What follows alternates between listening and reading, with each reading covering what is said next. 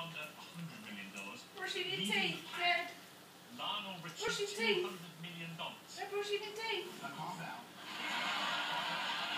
Calm down. You actually got an ooh of, of applause. Calm Yeah, down. but why? Come on, Stay in your seat. Well, I- Yeah, I'm happy to hear that. I'm so thrilled to know Would your that. accountant be happy to hear that? He would be very happy. He, he